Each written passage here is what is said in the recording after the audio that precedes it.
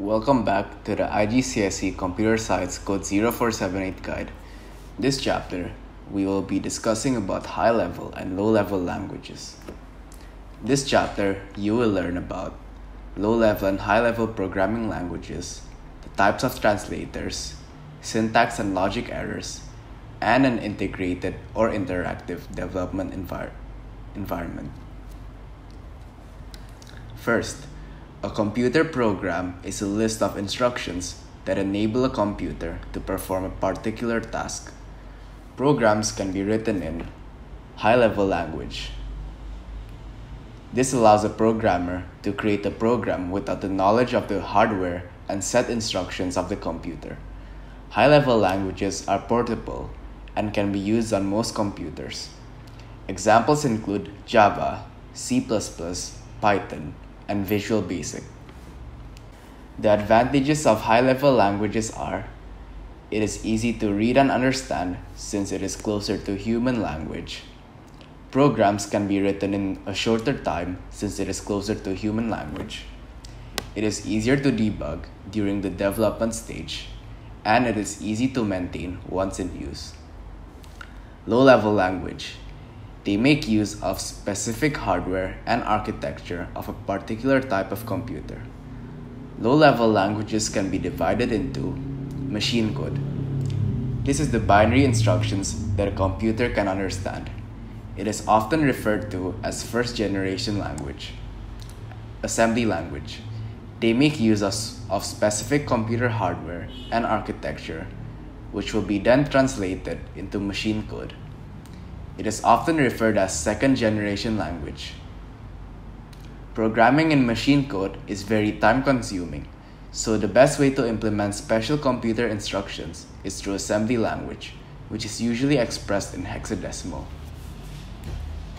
The advantages of low level languages are it makes use of special hardware, it makes use of special computer instructions, programs perform tasks very quickly, Programs do not take much space in the primary memory. On the bottom right, we can see a program written in assembly language and the same program in machine code. In order for a program to be understood by a computer, they have to be translated into machine code. This is done by, by a utility program called the translator. The three types of translators are 1. Compiler a computer program that translates a program written in high level language into machine code so it can be executed by the computer.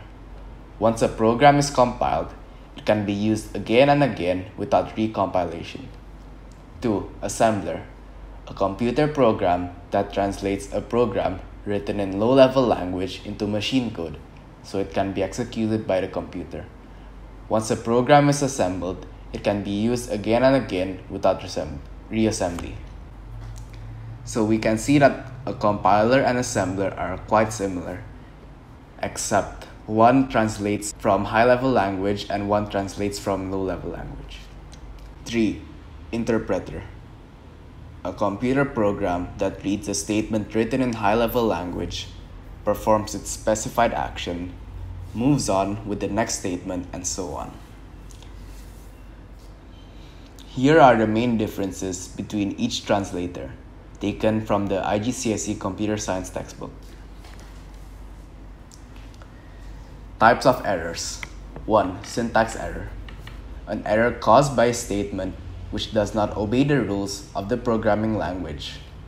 A program cannot be executed if it contains syntax errors. For example, 0 divided by 0. When a syntax error is found, the programmer is usually alerted to the place in the program where the error was found. On the right, we can see a syntax error in this person's calculator. However, I do not recommend writing syntax error for all your math answers like this guy, unless, of course, you want to fail.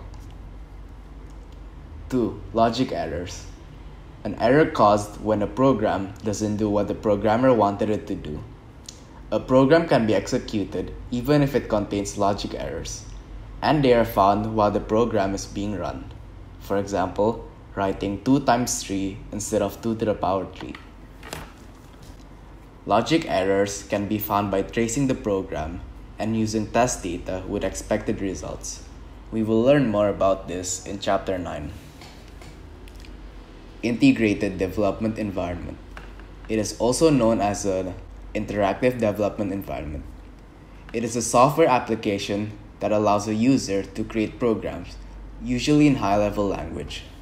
It combines common developer tools such as text editor, interpreter, and or a compiler, and debugging tools into a single graphical user interface. Examples include NetBeans, Python Shell, and Microsoft Visual Studio. By the end of this video, you should know the difference between low-level and high-level programming languages, the advantages of each type of programming language, the three types of translators, which are compiler, interpreter, and assembler, types of errors, logic and syntax, and what an IDE is.